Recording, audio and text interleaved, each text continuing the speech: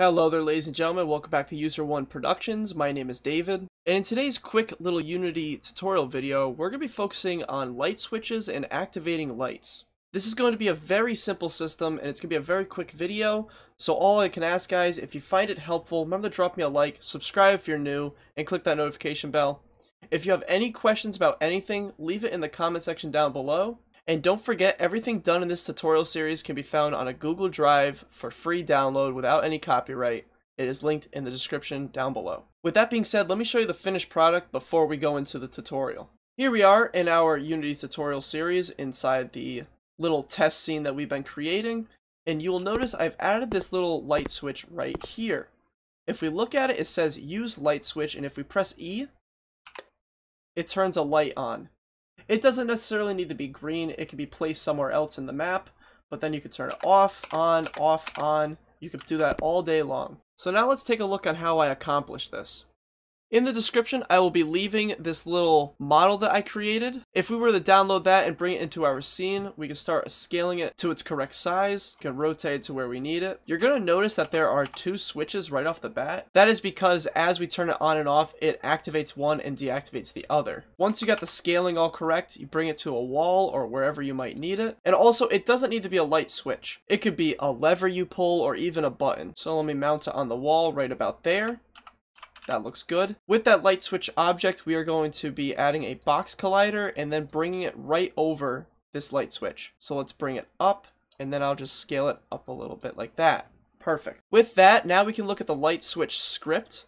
Let's open it up and I'm going to show you guys what's going on in here. So right here at the top we have two game objects which is on object and off object. That's going to be the two switches that we have. We have another public game object, which is going to be the lights text. That's the text that's going to display when you look at it. We have another public game object, which is the light object, an audio source for when we switch it on or off. And then we have a couple bools. We have a bool saying if it's on, if it's off, and if we are in reach. Right here in our start function, we have an in reach sets to false because we don't want to be able to open it right off the rip. Right here, we're more or less saying that the lights are off, so that way our bools are correct as well as the game objects that we have. And then we want to set the light object to false because we don't want the light to already be on. That's in my case at least. If you wanted the light to be already turned on, these five statements in the start function, you would just change them to their opposites. So this one would be true, false, true, false, true. Moving on, we have a void on trigger enter and on trigger exit. Earlier in our tutorial series, we created a little reach object.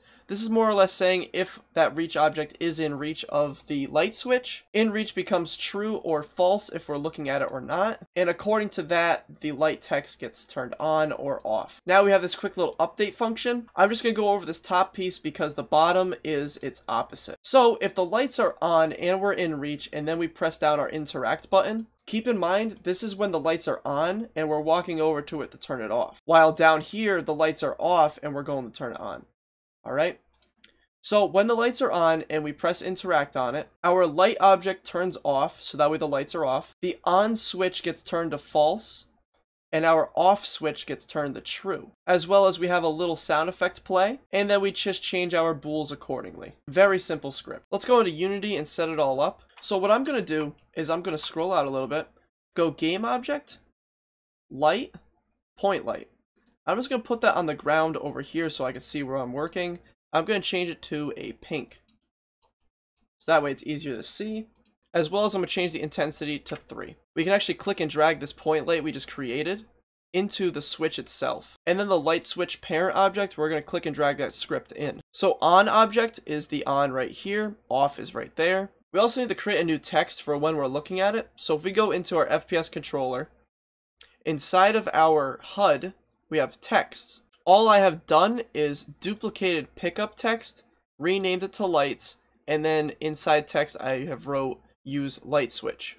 Going back into the light switch object, we can click and drag that lights text in. The light object is going to be the point light we created. Click and drag that in.